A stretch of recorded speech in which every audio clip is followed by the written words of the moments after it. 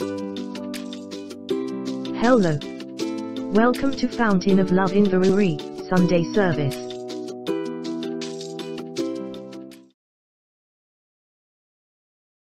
Today, that takes us to the sermon of today. Who will help us with Psalm 82, please? Psalm 82, 1 to 8. Another person, John 10, 25 to 26. They're rather long, but we'll still try and quickly go through them. Psalm 82, 1 to 8. Psalm 82. God presides in the heavenly council. In the assembly of the gods, he gives his decision. You must stop judging unjustly. You must no longer be partial to the wicked. Defend the rights of the poor and the orphans. Be fair to the needy and the helpless. Rescue them from the power of evil men. How ignorant you are, how stupid. You are completely corrupt, and justice has disappeared from the world. You are gods, I said. All of you are sons of the Most High, but you will die like men. Your life will end like that of any prince. Come, O God, and rule the world. All the nations are yours. Thank you, ma. John 10, 25 to 36. Jesus answered them, I told you, and you do not, and you do not believe. The works that I do in my Father's name, they bear witness of but you do not believe, because you are not of my sheep, as I said to you. My sheep hear my voice, and I know them, and they follow me. And them eternal life, and they shall never perish, neither shall anyone snatch them out of my hand. My Father who has given them to me is greater than all, and no one is able to snatch them out of my Father's hand. I and are one. Then you took up stones again to stone him. Jesus answered them, Many good works I have shown you from my Father. For which of those works do you stone me? The Jews answered him, saying, For a good work we do not stone you, but for blasphemy. And because you, being a man, make yourself God. Jesus answered them, Is it not written in your law? I said, You are gods. If he called them gods, to whom the word of God came, and the scripture cannot be broken, do not say of him whom the Father sanctified and sent into the world, you are blaspheming, because I said, I am the Son of God. Praise the Lord. Hallelujah. Hallelujah. Hallelujah. So Jesus was quoting from Psalm 82. Jesus was quoting from Psalm 82. And uh, look at uh, Psalm 82, verse 6, shows that the Hebrew word translated gods is Elohim. The same word used in Genesis 1 1, which usually means one true creator God, one true creator God. Today we're looking at dominion. We're looking at dominion. Psalm 82, verse 1 says, God standeth in the congregation of the mighty, he judgeth among the gods. He judgeth among the gods. And, and, and Psalm 82, Psalm 82, 1 to 6 shows that the word gods can refer to people who are judging, people who have authority, uh, like like like judges, like magistrates, like such people who have been put in positions of authority and rulership. They wield power. They wield power. They are to be feared, but they derive their power from God Almighty. Sorry, when you see, at times I, I, I type something like that, it's the system that I use. It, it takes time for you have to press that thing, that arrows that, that moves up to to make it capital G. Sorry about that. The wind power or they are to be feared and respected, but they derive their power from God Almighty, who judges the whole earth, who judges the whole earth. And so, for example, in Exodus 7 1, in Exodus 7 1, it shows that Moses, as the messenger of God, was God's representative to the king. He was God's representative to the king, and God said, I have made you what? Can somebody help us read Exodus 71? See, I have made you as God to Pharaoh. I have become your brother shall be your prophet. Okay, I've made you as God to Pharaoh, and Aaron, your brother, brother shall be your prophet. It shows that Moses, we know Moses was God's messenger, was going to deliver uh, God's message to, to, to, to Pharaoh. And God is saying, I have made you as God to Pharaoh. The Hebrew word Elohim is translated judges in Exodus, uh, various places that you see the Exodus 21, 6, Exodus 22, 8, Exodus 22, 9, Exodus 22, 28. Jesus claims to be Son of God in the passage that we read. But the unbelieving Jews, they charge Jesus with blasphemy. Listen to you. Well, it's not because of these good works that we are saying anything, but it's because you are calling yourself Son of God. You are making yourself as God. This is blasphemy. Jesus then quoted, he then quoted John uh, Psalm, Psalm, Psalm 82 verse 6 for them.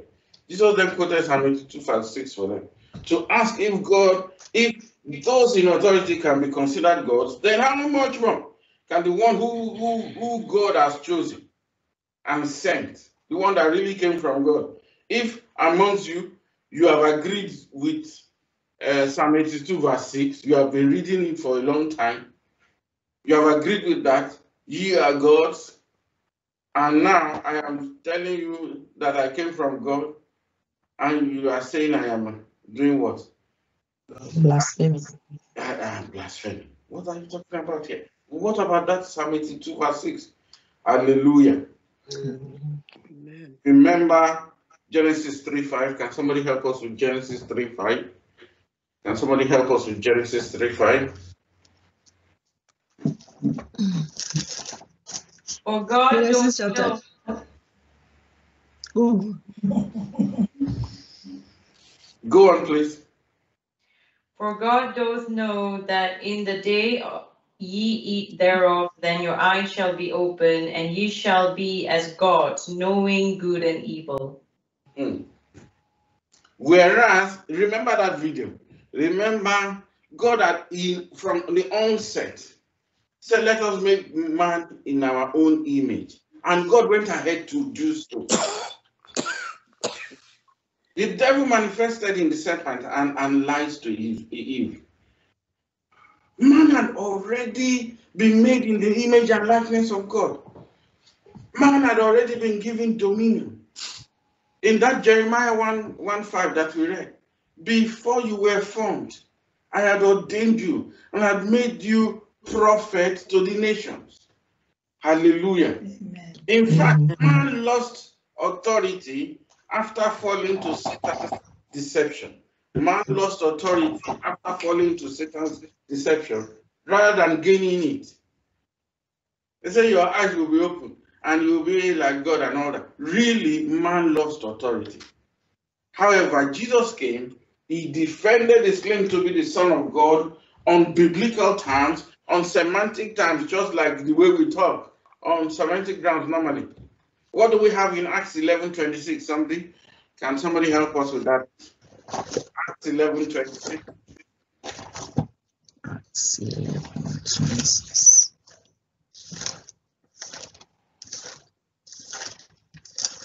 And when he had found him, he brought him unto Antioch.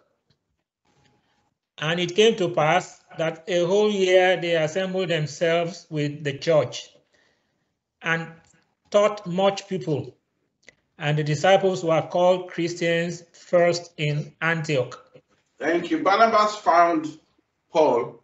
They stayed there with the disciples there. A whole year, people were watching them, and people decided to call them what? Christians. Christians. The disciples were first called Christians or little Christs or little Christ. Does that make them Christ, as it were? No. And so we want to note that human beings are not Christ or God as in Almighty God. We're not. God is God.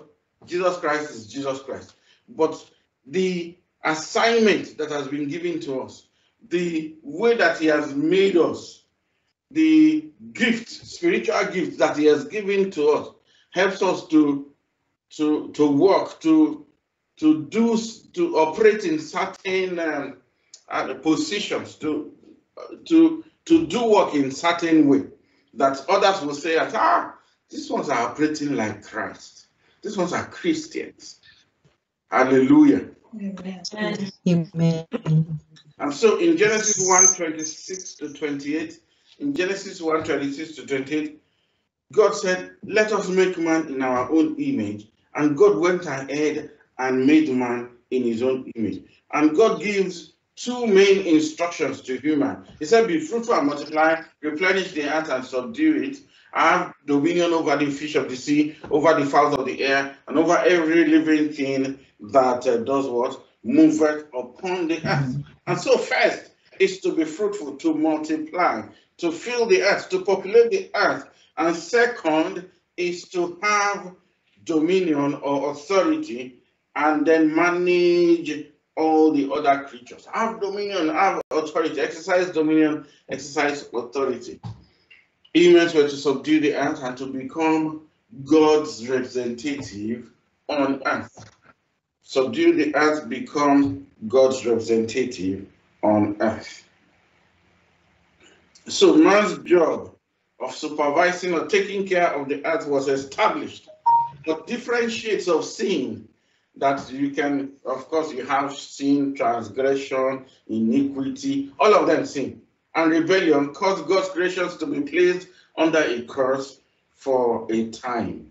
You remember after that, God sent man, Adam and Eve out of the Garden of Eden and Mhm. certain curses and all that. But as we receive Jesus Christ, as we today receive Jesus Christ as our personal Lord and Savior, we are restored into man's former position of dominion, but also with the Holy Spirit in us this time. The Holy Spirit is in us this time. It's not like the time of Samson when the Spirit of God will come upon him and then leave him again, and then the Spirit of God will come upon him and then he will kill one lion and all that. And then, no, the Spirit of God is in us now. As we receive Jesus Christ as our personal Lord and Savior. Yet, in a world where the devil, the God of this world, is still loose and influencing many things, he is still He's still there. And so you have that person, that individual, you and I, that we have received Jesus, that we have accepted Jesus Christ as our personal Lord and Savior. Uh, in in a, let me give an example of somebody with a torch in a dark room, and so you come, you shine your own, you put on your switch on your torch, and then it shows in that direction. Let's say there are seven of us, and then in, in that dark room, or let's say we now switch on our, our different uh, uh, torches. And so gradually we are doing what we're bringing light into our surroundings. Let's say you are in a very big warehouse. You switch on your own torchlight, the other person switches on his own torchlight, the next one switches on his own torchlight, and on and on like that. Gradually, the warehouse is becoming brighter and brighter. Amen. Amen. As we receive Christ as our personal Lord and Savior, we are restored into man's former position of dominion, but with the Holy Spirit in us this time. Yet, in a world where the devil still loose and influencing many things is. God has put us, final slide, God has put us, God has put us all, God has put in us all, God has put all rule and authority under the feet of his representative, which is man. God has put all rule and authority under the feet. Man fell, but the unique position of humanity in the plans and purposes of God was reinstituted by our Lord Jesus himself. By our Lord Jesus himself. And so we want to read 2 Corinthians 5 11 to 21. Uh, Sister Winifred, 2 Corinthians 5 11 to 21. Second Corinthians 5. Yeah. Second Corinthians chapter 5, verse 11. So 21. Yes. Okay. We know what it means to fear the Lord, and so we try to persuade others. God knows us completely, and I hope that in your hearts you know me as well. We are not trying again to recommend ourselves to you. Rather, we're trying to give you a good reason to be proud of us, so that you will be able to answer those who boast about a man's appearance and not about his character. Are we really insane? It is for God's sake. Or are we sane? Then it is for your sake. We are ruled by the love of Christ. Now that we recognize that one man died for everyone, which means that all share in his death. He died for all so that those who live should no longer live for themselves, but only for him who died and was raised to life for their sake. No longer then do we judge anyone by human standards. Even if at one time we judge Christ according to human standards, we no longer do so. When anyone is joined to Christ, he is a new being. The old is gone, the new has come. All this is done by God, who through Christ changed us from enemies into his friends and gave us the task of making others his friends also. Our message is that God was making all mankind his friends through Christ. God did not keep an account of their sins. He has given us the message which tells us how he makes them his friends. 20. Here we are then speaking for Christ as though God himself were making his appeal through us. We plead on Christ's behalf. Let God change you from enemies into his friends. And the last one, 21. Christ was without sin, but for our sake, God made him share our sin in order that in union with him, we might share the righteousness of God. Thank you so much. Thank you so much. That somehow uh, gives us a good summary of what uh, we've been looking at today. So we are ambassadors for Christ. As messengers for Christ, we are to speak the words of Christ Jesus and we are therefore Christ's representative to people. We're therefore Christ's representative to people. Of course, you will say, where is dominion here? If something wants to go wrong, what does the judge do? What does the magistrate do? It will say, oh, no, no, no, I want to judge this case. This is not supposed to be that way. That's that's that's why you have like, is it Psalm 149 or Psalm 150, where the righteous will do what will speak and, and, condemn whatever that is wrong and, and put in place what is right.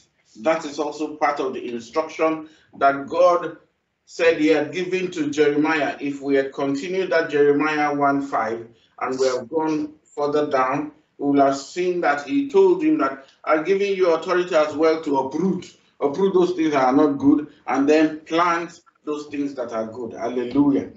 Amen. So the question today is that do we realize the authority that we have in Christ Jesus? Do you realize the authority that you have in Christ Jesus?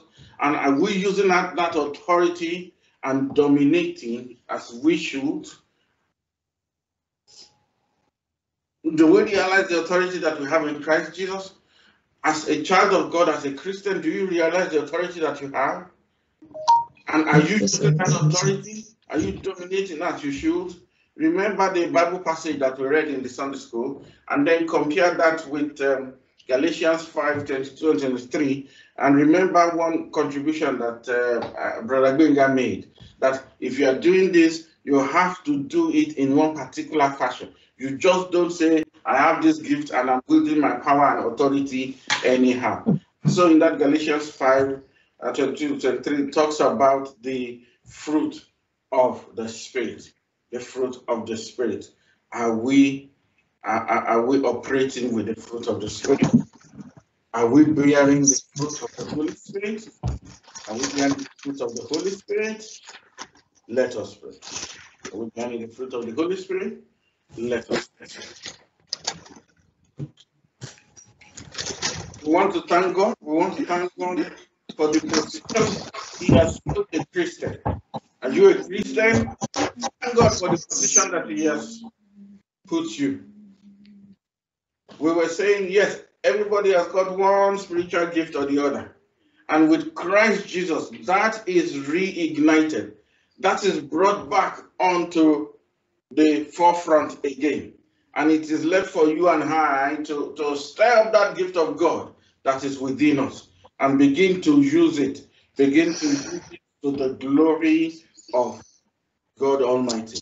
In the name of Jesus. Make up your mind today. If you have not accepted Jesus as your personal Lord and Savior, the opportunity now is, is, is calling on you. He is calling on you. The opportunity is here today for you to accept Jesus as your personal Lord and Savior, to get away from the curse and begin to enjoy the blessings, the goodness that is in Christ Jesus. Oh, go ahead now and decide for Jesus. Go ahead and rededicate your life unto God Almighty. Go ahead and say, Jesus, have mercy on me. Please forgive me of all my sins. Jesus, I accept you as my personal Lord and Savior.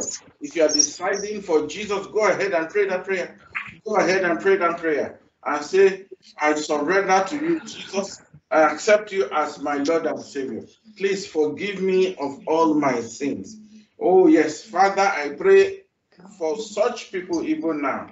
Is there anyone who is surrendering his or her life to Jesus? God Almighty, please pardon that person forgive that person, remove their names from the book of death and write their names in the book of life, please. In the name of Jesus Christ. In the name of Jesus Christ. If there's anyone who is rededicating his life or life to Jesus, God Almighty, I ask that your spirit will begin to direct that person afresh. Your Holy Spirit will begin to direct that person anew in the name of Jesus Christ. Each and every one of us, oh God, as you are speaking to us, oh yes, that we should stir up that gift that you have given unto us. God Almighty, we pray that at the end you welcome us into your kingdom as good and faithful servants. Those ones who have used the gift that, that you have blessed us with, they have used them even according to your purpose and will. Thank you, much matchless Father. Continue with us, O God, in this service. In Jesus' name, we have prayed. Amen. Amen. Amen. Praise the Lord. Hallelujah. Hallelujah. We've come to the end of the service. Let's just stretch forth our hands to the pastor and thank God for the message that has come through him today um, about having dominion.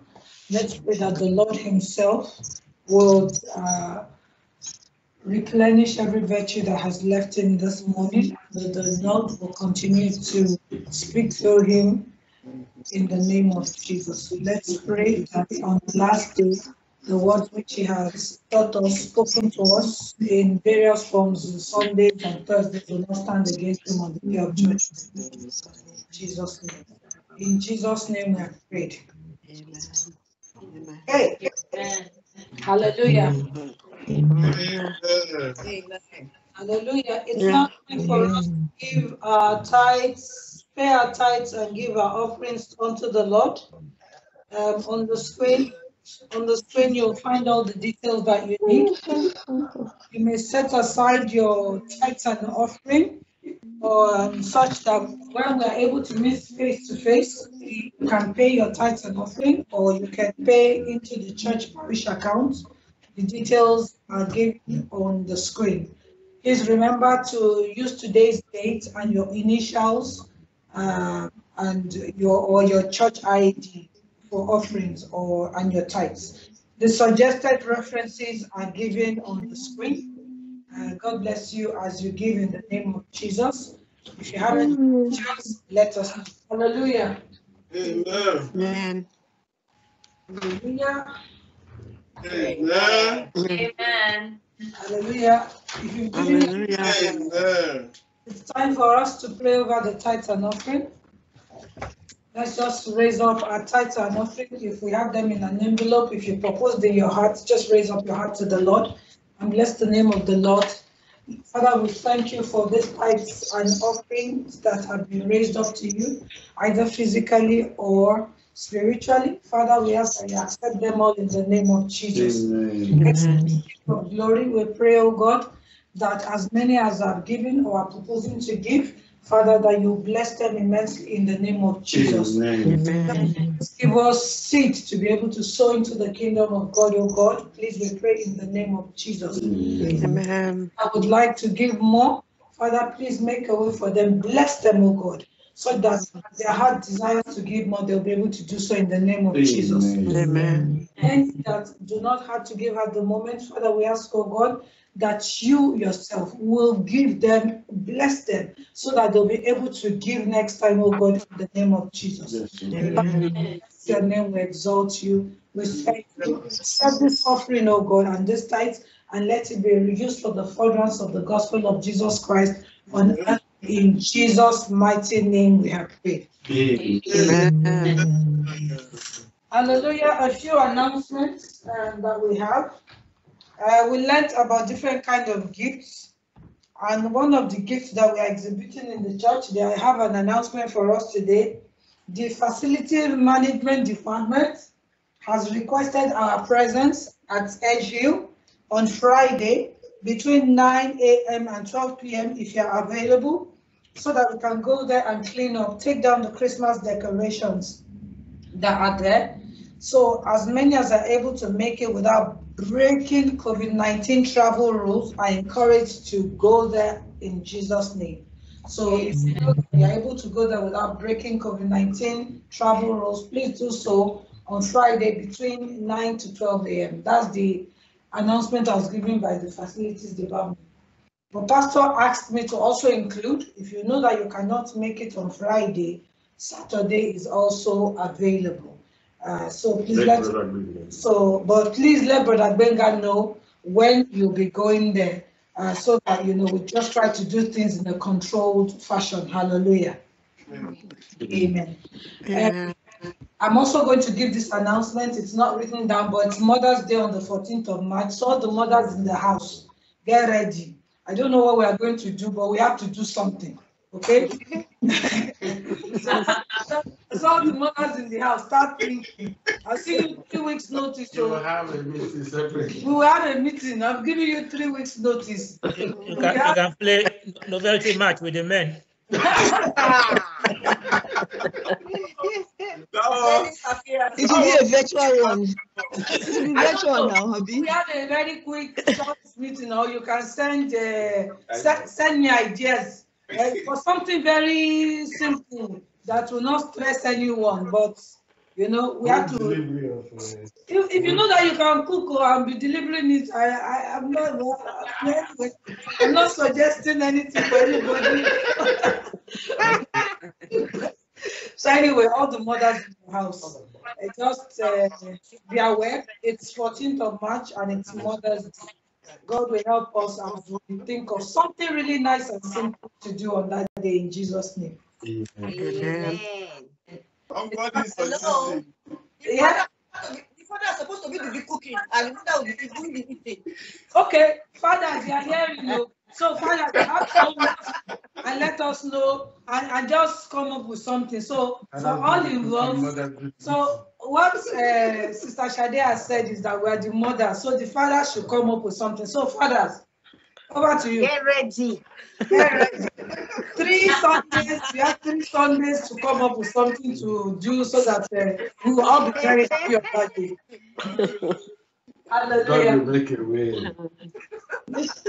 Amen. Maybe that's a day for afang soup as well. So that means mothers, you have more than three weeks to plan for Father's Day. So that means your own has to be extra special. Then we are giving them three weeks notice. We have three weeks, so hallelujah. It's for us to close the service. I would just like us to begin to bless the name of the Lord, to say, Father, we bless your name. We exalt you, O God, we glorify you, Lord Jehovah, we thank you. Um, let's begin to pray for the week that we are about to enter. For a couple of us in the different households, some of our children will be going back to school. So all those children that are between, I think, up to primary three, Mhm. To school and the ones that are in S4 to S6 will go back to school. Let's cover our children with the blood of Jesus. Let's ask that as many of our children that are in our midst that be going back to school, that the Lord will protect them, that the Lord will keep them safe. They will not catch any disease, nothing will touch them, nothing will harm them. the Jesus. Let us continue to pray for children that they start learning again, either physically or virtually, that the Lord will help them to understand everything that they read, that the teachers will teach well, the students will listen well, and the name of the Lord will get glorified in the name of Jesus. Let's pray for us workers, us working for for some of us liquid work physically. Let's pray that the Lord will surround every one of us with his hedge of fire, that you will protect us, that no disease common and common to children, to adults will touch us in the name of Jesus. That the hedge of protection that has surround us at all of hedge, you know, in the mighty name of God help us. Qualities. Jesus. Nothing that will cause God, and I believe you, job. Thank you, Lord. You are so good. You can, you touch us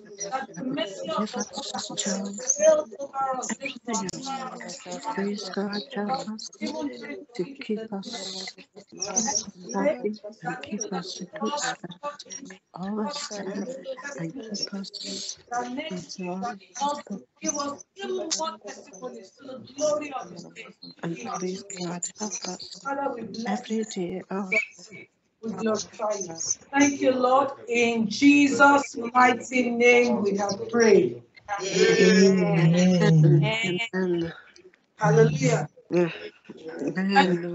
Take our song, in peace, go in love, go in joy. May God May bless Blessings you.